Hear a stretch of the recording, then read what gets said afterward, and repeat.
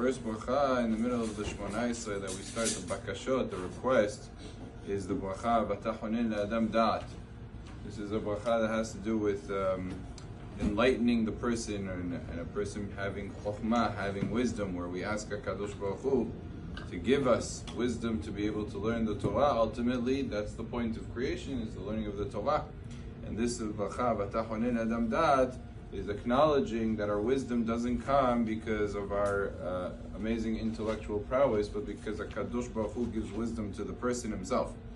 And uh, therefore, a person who finds that he has a hard time succeeding in learning, and he doesn't remember his learning, he doesn't uh, effectively uh, understand to its fullest extent what he is learning, it's a good thing to insert in that beracha especially Yehi Ratzon. There's a special Yehi Ratzon. Some of the Siddurim actually have it, where a person could personally request from HaKadosh Baruch Hu to supply him with wisdom and, and knowledge and the ability to remember.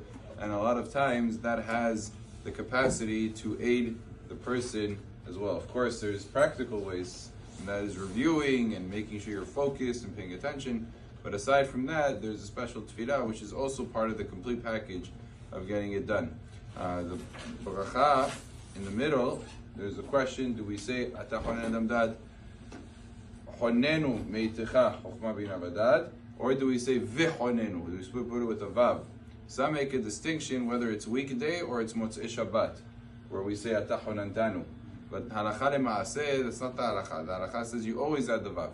V'chonenu meitecha chokma binah vada'at. It should always have that vav, even if it's not motzei Shabbat. You should have that vav inserted and that's part of the text of the Bracha. And most of the Sidurim, it is written in that fashion as well. Amen. Amen.